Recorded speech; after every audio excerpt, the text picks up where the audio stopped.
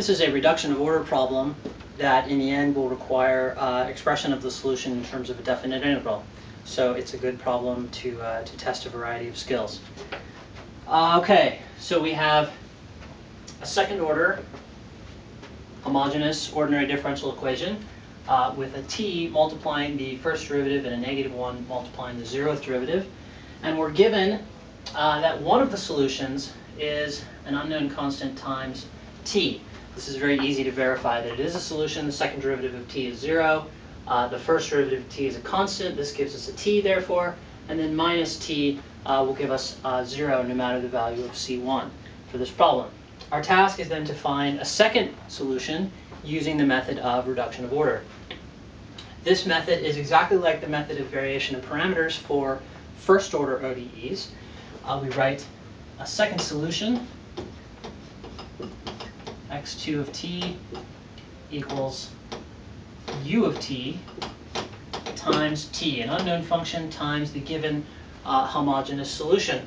And just like in variation of parameters, this uh, seemingly non-specific guess, uh, because any, any function can be written this way. Uh, if you give me any function you want, I can write it in this form, a function times t, simply by dividing the function you give me times t. So this is non-limiting. Any function could have this form, and yet this form will uh, allow things to cancel within the ODE that allow us ultimately to solve the problem.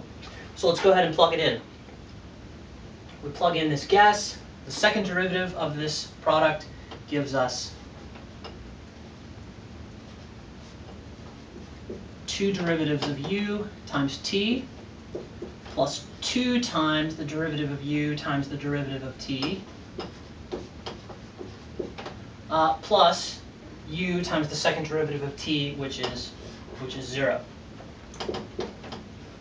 plus t times the first derivative of this product, which is du dt times t plus u times the derivative of t, uh, minus the zeroth derivative of this product, u times t, which must equal 0. So, as promised, this form of writing the solution makes some cancellations happen. We have a tu minus a tu, and so this term and that term cancel. And if we now collect uh, like derivatives of u, we have t times the second derivative of u dt squared uh, plus 2 plus t times t. So 2 plus t squared du dt equals 0. And this problem is still second order for u, but it's lacking a zeroth derivative of u. And so it's really just a first order differential equation on du dt. So to, to formally encode that, we make a substitution. We say v is du dt. And then this is just v, and this is the time derivative of v. Uh, so let's write it that way and also divide through by t. We get dv dt plus 2 plus t squared over t v equals 0. Uh, so this is a first order ODE that we can solve using our uh, methods from first order ODEs. That will give us, by separation, dv over v. I'll take this over on the other side with a negative sign. I'll divide by v. I get dv over v. And on the other side, I'll have negative 2 plus t squared over t dt. This is now separated, all the v's on the left, all the t's on the right. We can integrate both sides. We get ln v equals uh, technically absolute value of v, equals, on the left-hand side, uh, when we integrate negative 2 over t, we get negative 2 ln of t. Again, technically absolute values. Uh, minus t squared over t gives us a minus t. When we integrate that, we get minus 1 half t squared plus an integration constant which I'll call C2 tilde. Now, from first order ODEs, we know that when we exponentiate both sides, uh, the absolute values uh, can get incorporated into this constant C2, which drops down, and we get V equals some slightly different constant C2 e to the negative 2 ln of t minus 1 half t squared. And here, uh, negative 2 ln of t is ln of t to the negative 2.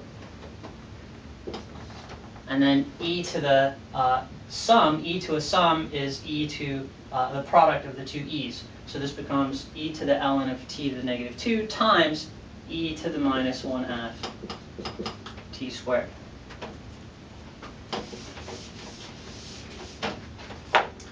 Uh, finally, ln e to the ln of t to the minus 2 gives us v equals c2 times 1 over t squared e to the minus 1 half t squared.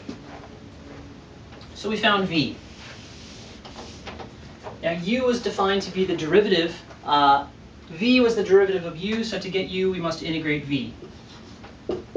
So u is c2 times the integral of 1 over t squared e to the minus 1 half t squared dt plus an integration constant c3. This is an indefinite integral, uh, and so it's okay that it's a function of t, and I, I write it in, as a function of t with a dt when it's in indefinite form. But I can't, I can't actually integrate this. Uh, e to the minus 1 half t squared over t squared is non-integrable. So I'll leave that as a definite integral. And when it's a definite integral, the upper bound is set to t. The lower bound is typically set to the initial time value, whatever that happens to be. In this problem, it's not defined.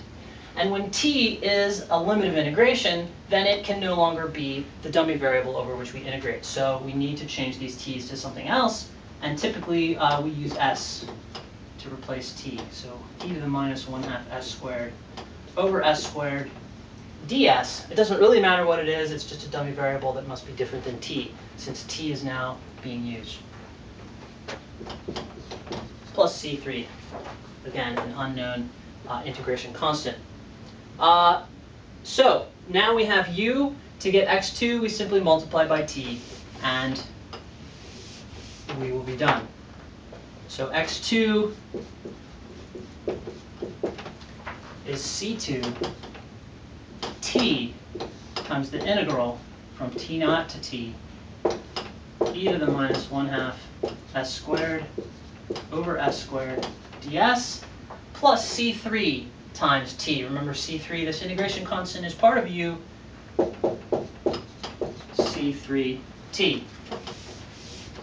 So we have now a second homogeneous solution. It turns out to include uh, a multiple of the first homogeneous solution. So this is in fact uh, the general solution. And we can just remove the x2 subscript there.